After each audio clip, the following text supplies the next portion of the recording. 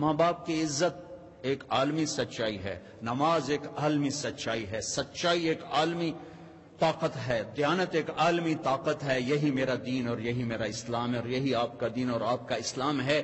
باقی جو کچھ ہے، وہ فرقہ واریت کی آگ ہے۔ اپنے آپ کو اس سے بچاؤ اور صدیوں کے بعد تبلیغ ایک ایسا کام ہمیں ملا ہے۔ جو اس آگ سے پاک ہے، اس لیے اللہ نے اس کو چھ بر اعظم میں پھیرا دیا اور اس کو گلی گلی میں پہنچا دیا۔ اگر کوئی مجھے کروڑوں روپے دیتا کہ آپ لوگ یہ افریقہ کا چکر لگا لو، میں کہا بھائی ران دے، میں گاڑی چنگا۔ لیکن اس دعوت کی نسبت نے مجھے ان جنگلوں میں پہنچایا، ان جھونپڑوں میں پہنچایا۔ جہاں ہزاروں سال پرانی زندگی چل رہی ہے، یہ ایک بہت خوبصورت کام ہے جو اس ملک کا زیور ہے۔ میرے ملک میں تاریخی ہے، لیکن یہ ایک ایسا چراغ ہے جس کی روشنی چھ بر اعظم میں پھیل رہی ہے۔ یہ ایسا خوبصورت نظام ہے جس نے چھ بر اعظم کے انسانوں کو ایمان بھی پہنچایا ہے، کلمہ بھی پہنچایا اور لاکھوں غیر مسلموں کو ایمان میں آنے کا راستہ دکھایا ہے۔ میں آپ سب بچوں سے کہتا ہوں، کسی سیاسی تحریک کا حصہ نہ بنو، کسی سیاسی پارٹی کا حصہ نہ بنو۔ کوئی نعرے بازی نہ کرو۔ جو بھی آئے گا اپنا جیب لے کر آئے گا، اپنا پیٹ لے کر آئے گا۔ اپنے آپ سے، اپنے آپ کو ٹھیک کرنے کی محنت کرو۔ سب سے بڑی سیاست ہے کہ تم اللہ کو راضی کر لو۔ جو پڑھ رہے ہو، اس میں تم علم والے بنو۔ صرف ڈگری والے نہ بنو، علم والے بنو۔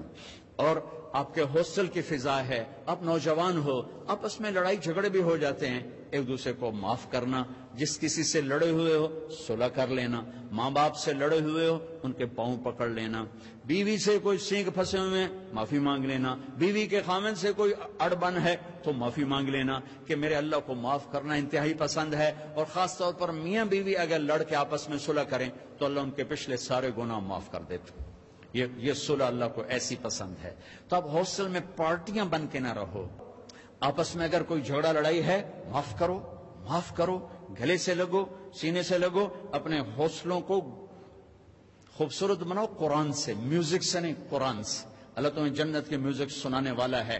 ایک نغمہ چھڑے گا نا تو ہزار ہزار سال ایک ہی نغمہ تمہیں سناتا جائے گا۔ تم سر دھنتے رہو گے، تمہارے سننے کا مزہ ختم نہیں ہوگا۔ پھر جب اللہ خود اپنے چہرے سے نقاب ہٹا کر اپنا دیدار کرا کے اپنا قرآن سنائے گا، تو سر سے لے کر پاؤں تک تمہارے اندر میں وہ وہ وہ نشہ اور روحانیت اور وہ سرور سرایت کرے گا کہ جب اللہ سنائے گا تو صرف کان نہیں سنے گا، پورا باڈی کان بن جائے گی، ہر سیل کان بن جائے گا اور اللہ کی آواز تمہاری روح میں سرایت کرے گی اور اللہ اعلان کرے گا وہ کہاں ہیں جو دنیا میں گانے نہیں سنتے تھے، اعلان ہوگا۔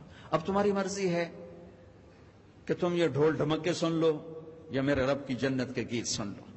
میرے رب کی جنت کا نغمہ اور موسیقی سن لو۔ تو آپس میں میرے عزیزوں پیار محبت سے رہو، آپس میں الفت سے رہو، درگزر سے رہو۔ کبھی کھٹ پٹ ہو جائے تو کسی سے کو ہماری صلح کرو، خود کرو، نہیں کر سکتے، کسی سے کو بیچ میں پڑے وہ نہیں پڑھ رہے، تم اوپر کے بچے مل کر ان کی صلح کراؤ، نفرت سے نہ رہو، محبتوں سے رہو۔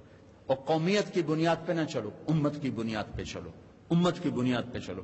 والدین سے کہتا ہوں، اپنے بچوں کے رشتے میں قوم کو نہ دیکھو، دینداری کو دیکھو، نیکی کو دیکھو۔ یہ ہم اپنی قوم سے باہر نہیں کرتے۔ اس نے ہماری بچیوں کی زندگیاں برباد کر دی ہمارے بچوں کی زندگیاں برباد کر دی اور بے جوڑ رشتوں نے تباہی کے دروازے کھول دیے کہ اپنی قوم میں کرنا چاہے وہ کیسا ہی کیوں نہ ہو۔ اس بت سے بھی ماں باپ سے کہتا ہوں، باہر نکلو۔ اولاد سے کہتا ہوں، ماں باپ کی مرضی کے ساتھ قدم اٹھاؤ۔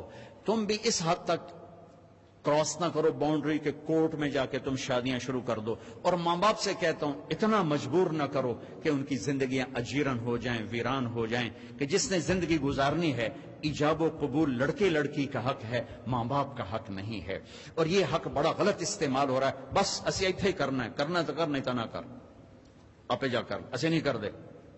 اور کوئی بیٹی تو کہہ نہیں سکتی کہ میں یہاں شادی نہیں کرنا چاہتا۔ ہمارا میرا میرا تو راوی میرا کنارہ ہے، ہمارے ہمارے بچپن میں۔ ذبح کر کے دریا میں ڈال دیتے تھے۔ کتنی ہزاروں بچیاں راوی کی لہروں کا شکار ہو کے اپنی قوم کرنا، غیر نہیں کرنا، ایتھے کرنا ہے، جتھے میں نہیں کر سکتی۔ چلو ورلڈ کپ دو ساری زندگی خود جنا کریں تو کوئی غیرت کا جنازہ نہیں نکلا۔ بیٹی صرف اتنا کہہ دے، میں یہاں نہیں کرنا چاہتا۔ ذبح کر دو جیسے بیٹی کا حق ہی کوئی نہیں۔ ایجاب، قبول، یہ لڑکا لڑکی کہہ رہے ہیں، ماں باپ تو نہیں کہہ رہے۔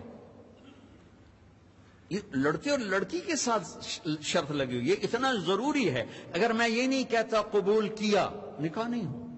میرے نبی نے کہا، ما تزوجت وما زوجت الا بوحی من السماء نزل به جبريل میں نے جہاں بیٹی دی، پہلے آسمان سے وہی آئی، پھر میں نے شادی کی، پھر میں نے بیٹی دی۔ ٹھیک ہوگی بات؟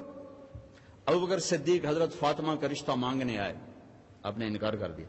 عمر رشتہ مانگنے آئے، آپ نے انکار کر دیا۔ ابن عوف نے حضرت علی سے کہا، تو جا رشتہ مانگ۔ کہ میں تو فقیر ہوں، مجھے کہاں دیں گے؟ تو جاؤ تو صحیح۔ آگے اور شرم کی وجہ سے بولے نہیں۔ بیس سال کی عمر۔ حضرت فاطمہ کی ساڑھے پندرہ سال۔ چپ۔ تو آپ کو تو پتا تھا کیوں آیا؟ علی، کیسے آئے ہو؟ چپ۔ فاطمہ کا رشتہ لچ، فاطمہ کا رشتہ اس لیے آئے ہو؟ جی۔ تو آپ نے کہا، انشاءاللہ۔ انشاءاللہ۔ اور اٹھ گئے۔ حضرت علی بھی اٹھ گئے۔ صحابہ باہر کھڑے ہوئے تھے۔ تو کیا ہوا؟ حضرت علی نے کہا، انکار ہو گیا۔ کہا، کیسے؟ کہاں تو کی نہیں؟